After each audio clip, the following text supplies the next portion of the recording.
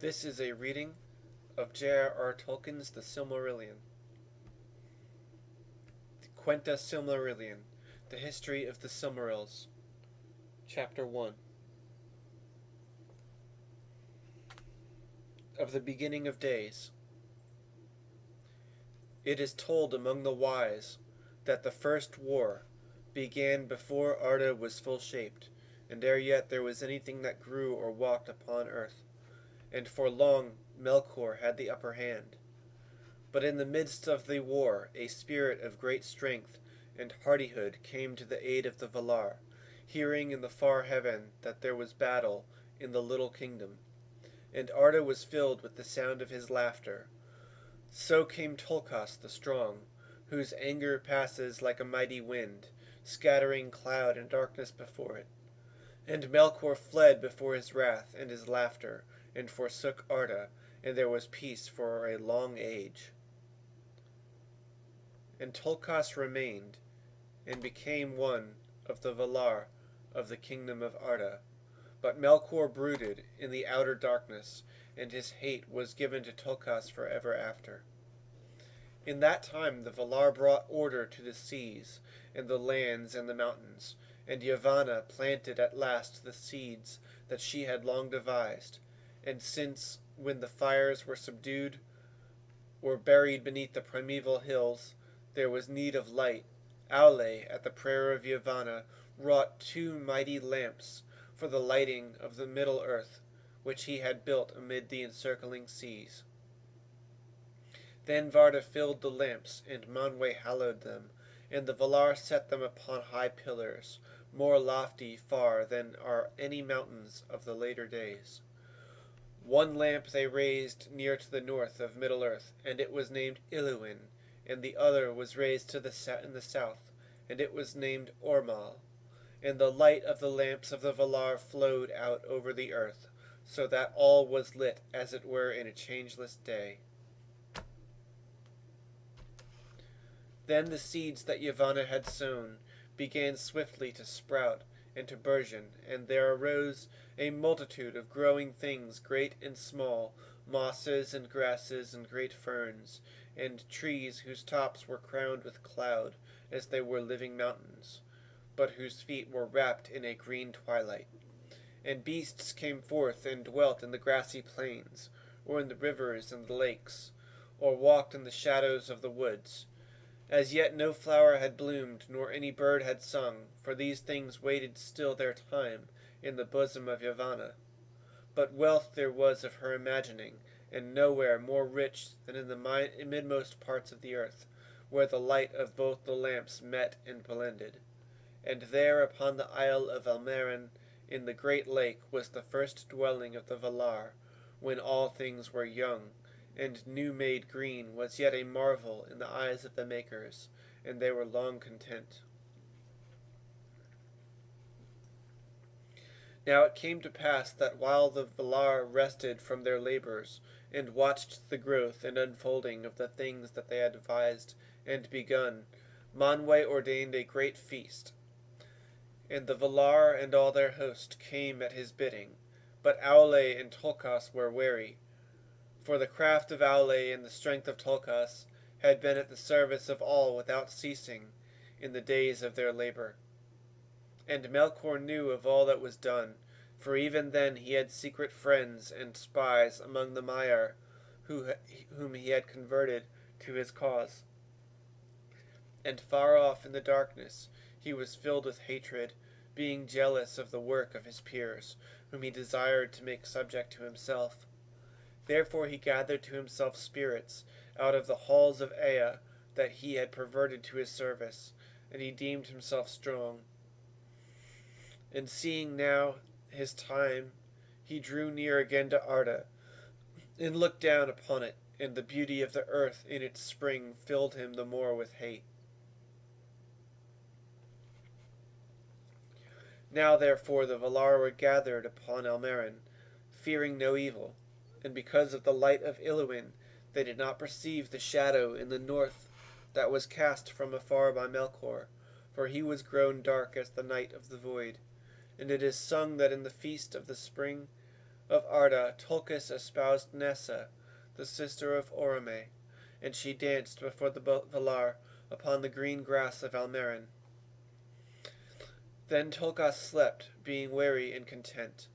And Melkor deemed that his hour had come, and he passed therefore over the walls of the night with his host, and came to Middle Earth far in the north, and the Valar were not aware of him. Now Melkor began the delving and building of a great fortress, deep under earth, beneath dark mountains, where the beams of Illuin could, were cold and dim. That strong was named Utumno, and though the Valar knew not of it as yet, none the less the evil of Melkor and the blight of his hatred flowed out thence, and the spring of Arda was marred.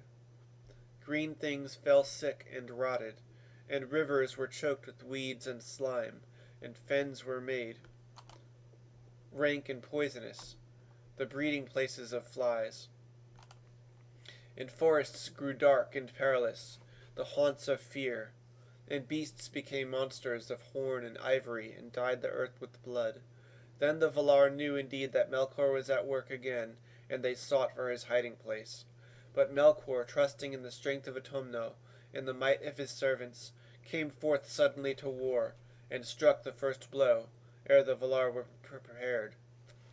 And he assailed the lights of Illuin and Ormal, and cast down their pillars, and broke their lamps. In the overthrow of the mighty pillars, lands were broken, and seas arose in tumult. And when the lamps were spilled, destroying flame was poured out over the earth, and the shape of Arda and the symmetry of its waters and its lands were marred in that time, so that the first designs of the Valar were never after restored.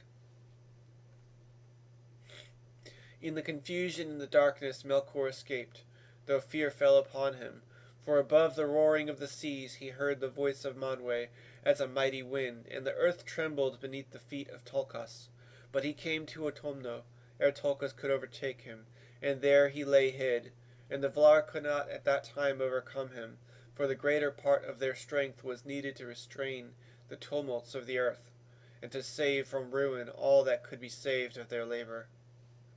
And afterwards they feared to rend the earth again, until they knew where the children of Iluvatar were dwelling, who were yet to come in a time that was hidden from the Valar.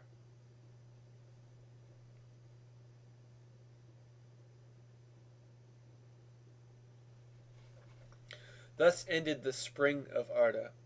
The dwelling of the Valar upon Almaren was utterly destroyed, and they had no abiding place upon the face of the earth. Therefore they departed from Middle Earth, and went to the land of Aman, the westernmost of all lands upon the borders of the world, for its west shores looked upon the outer sea, that is called by the elves Ekkaia, encircling the kingdom of Arda. How wide is that sea none know but the Valar and beyond it are the walls of night. But the east shores of Aman were the uttermost end of Belegaer, the great sea of the west.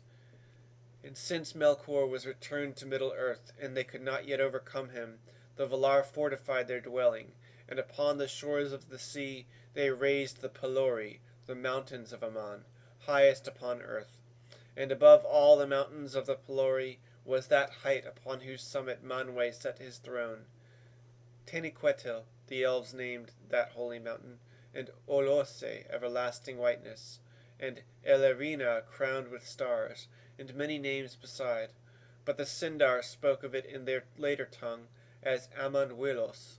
From their halls upon Taniquetil, Manwe and Varda could look out across the earth, even into the furthest east.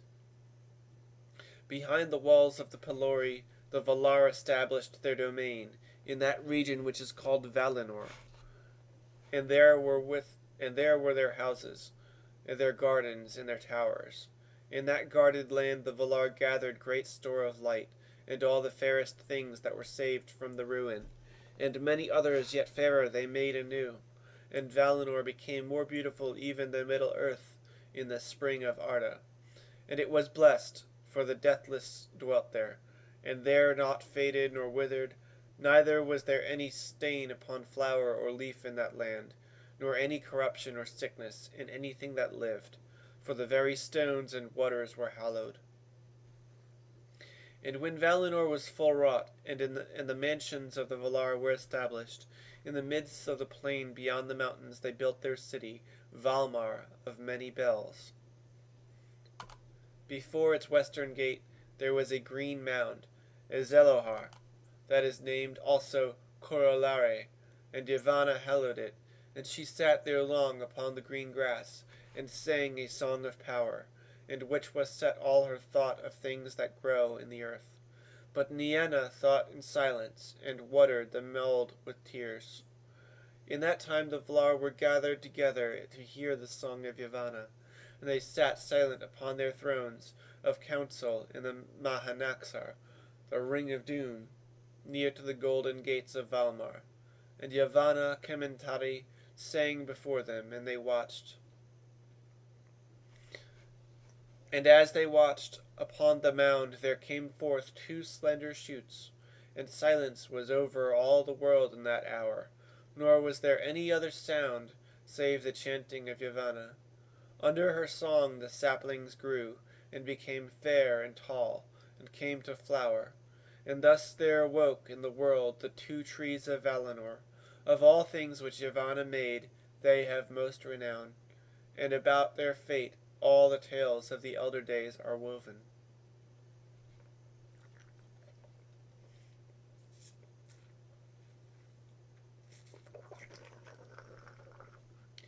The one had leaves of dark green, that beneath were as shining silver, and from each of his countless flowers a dew of silver light was ever falling, and the earth beneath was dappled with the shadows of his fluttering leaves. The other bore leaves of a young green, like the new opened beech. Their edges were of glittering gold.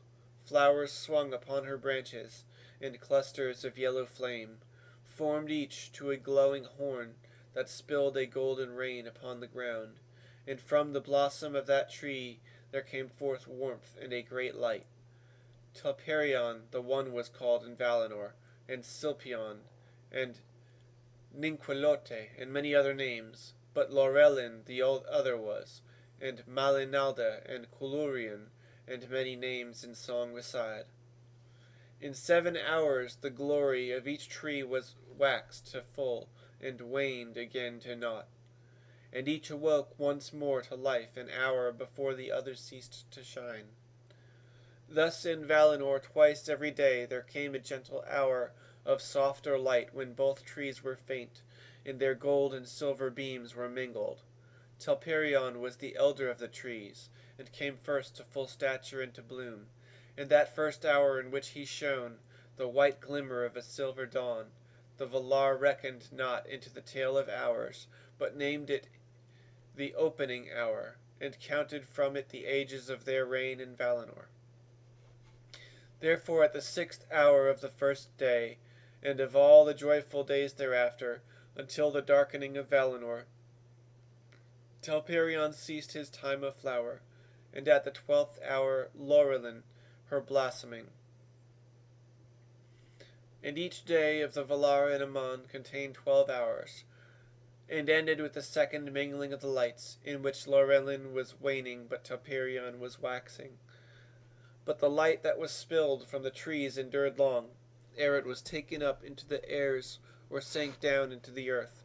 And the dews of Telperion, and the rain that fell from Laurelin, Varda hoarded in great vats like shining lakes, that were to all the land of the Valar as wells of water and of light.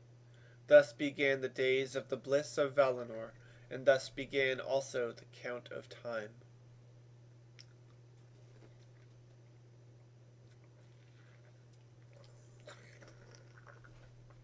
But as the ages drew on to the hour appointed by Iluvatar for the coming of the firstborn, Middle Earth lay in a twilight beneath the stars that Varda had wrought, in the ages forgotten of her labors in Arda. And in the darkness Melkor dwelt, and still often walked abroad, in many shapes of power and fear, and he wielded cold and fire, from the tops of the mountains to the deep furnaces that are beneath them and whatsoever was cruel or violent or deadly in those days is laid to his charge. From the beauty and bliss of Valinor, the Valar came seldom over the mountains to Middle Earth, but gave to the land beyond the Pelori their care and their love. And in the midst of the blessed realm were the mansions of Aule, and there he labored long, for in the making of all things in that land he had the chief part, and he wrought there many beautiful and shapely works, both openly and in secret. Of him comes the lore and knowledge of the earth, and of all things that it contains, whether the lore of those that make not, but seek only for the understanding of what is, or the lore of all craftsmen, the weaver, the shaper of wood, and the worker in metals, and the tiller and husbandman also. Those, though these last and all that deal with things that grow and bear fruit, must look also to the spouse of Aule, Yavanna Kementari. Aule it is who is named the friend of the Noldor, for of him they learned much in after days, and they are the most skilled of the elves. And in their own fashion, according to the gifts which Iluvatar gave to them, they added much to his teaching, delighting in tongues and in scripts, and in the figures of broidery, of drawing, and of carving. The Noldor also it was who first achieved the making of gems, and the fairest of all gems were the Silmarils, and they are now lost. But Manwe Sulimo, highest and holiest of the Valar, sat upon the borders of Aman, forsaking not in his thought the outer lands. For his throne was set in majesty upon the pinnacle of Taniquetil, the highest of the mountains of the world. Standing upon the margin of the sea, spirits in the shape of hawks and eagles flew ever to and from his halls, and their eyes could see to the depths of the seas, and pierce the hidden caverns beneath the world. Thus they brought word to him of well nigh all that passed in Arda, yet some things were hidden even from the eyes of Manwe and the servants of Manwe, for where Melkor sat in his dark thought impenetrable shadows lay.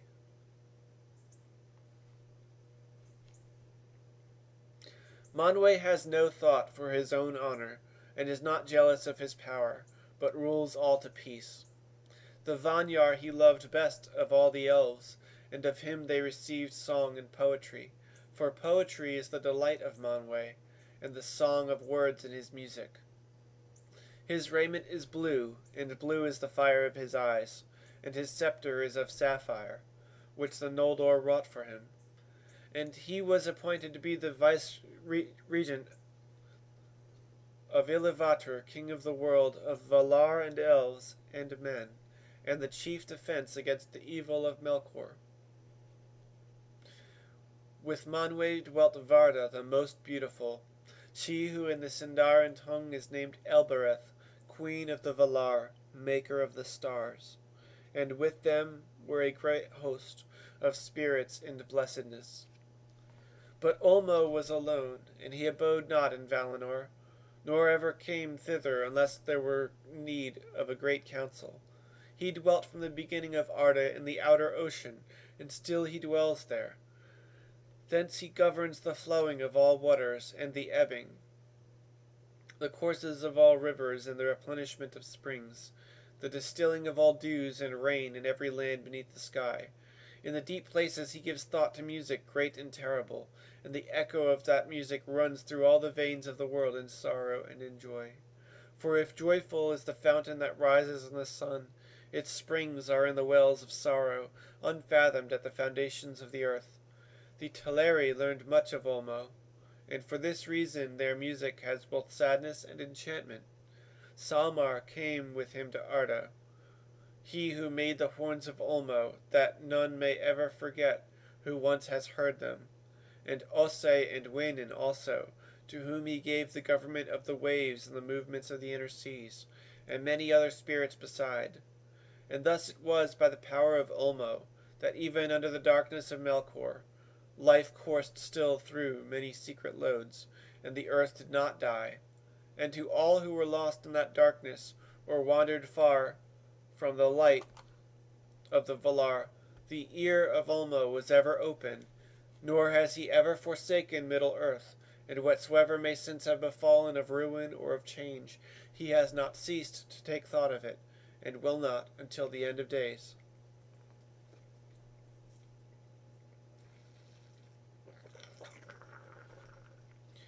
And in that time of dark, Yavanna also was unwilling utterly to forsake the outer lands, for all things that grew are dear to her, and she mourned for the works that she had begun in Middle earth, but Melkor had marred. Therefore, leaving the house of Aule and the flowering meads of Valinor, she would come at times and heal the hurts of Melkor, and returning she would ever urge the Valar to that war with his evil dominion that they must surely wage ere the coming of the firstborn. And Orome, tamer of beasts, would ride too at whiles in the darkness of the unlit forests. As a mighty hunter, he came with spear and bow, pursuing to the death the monsters and fell creatures of the kingdom of Melkor. And his white horse Nahar shone like silver in the shadows. Then the sleeping earth trembled at the beat of his golden hoofs, and in the twilight of the world Orome would sound the Valaroma, his great horn, upon the plains of Arda. Whereat the mountains echoed, and the shadows of evil fled away, and Melkor himself quailed in Utumno, foreboding the wrath to come. But even as Orome passed, the servants of Melkor would gather again, and the lands were filled with shadow and deceit. Now all is said concerning the manner of the earth and its rulers in the beginning of days, and ere the world became such as the children of Iluvatar have known it. For elves and men are the children of Iluvatar, and since they understand not fully that theme by which the children entered into the music, none of the Ainur dared to add anything to their fashion. For which reason the Valar are to these kindreds rather their elders and their chieftains than their masters and if ever in their dealings with elves and men the Ainur have endeavored to force them when they would not be guided, seldom has this turned to good, how, howsoever good the intent. The dealings of the Ainur have indeed been mostly with the elves, for Iluvatar made them more like in nature to the Ainur, though less in might and stature, whereas to men he gave strange gifts. For it is said that after the departure of the Valar, there was silence, and for an age Iluvatar sat alone in thought. Then he spoke and said, Behold, I love the earth, which shall be a mansion for the Quendi and the Atani. But the Quendi shall be fairest of all the earthly, earthly creatures, and they shall have and shall conceive and bring forth more beauty than all my children, and they shall have the greater bliss in this world. But to the Atani I will give a new gift Therefore he willed that the hearts of men should seek beyond the world, and should find no rest therein. But they should have a virtue to shape their life, amid the powers and chances of the world, beyond the music of the Ainur, which is as fate to all things else. And of their operation everything should be, in form and deed, completed, and the world fulfilled unto the last and smallest. But Iluvatar knew that men, being set amid the turmoils of the powers of the world, would stray often, and would not use their gifts in harmony.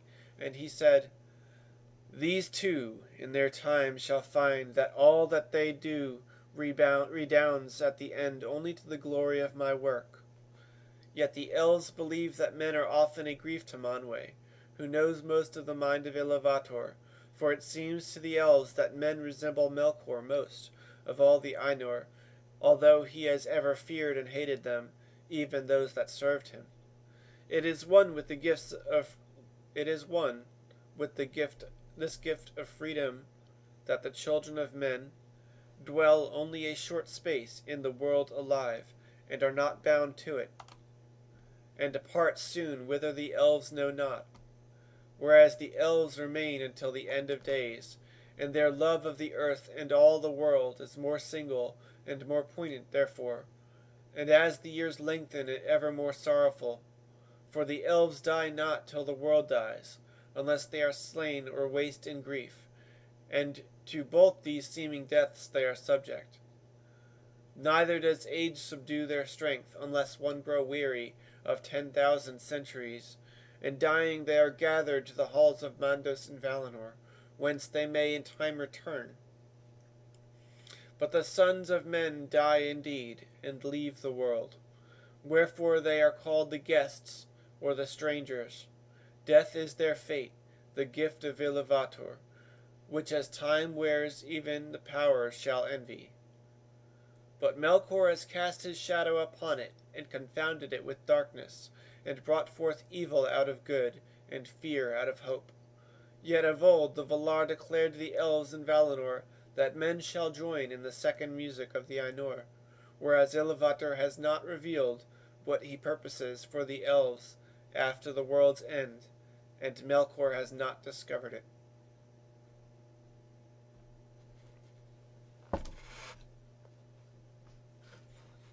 This has been a reading of Chapter 1 of the Quenta Silmarillion.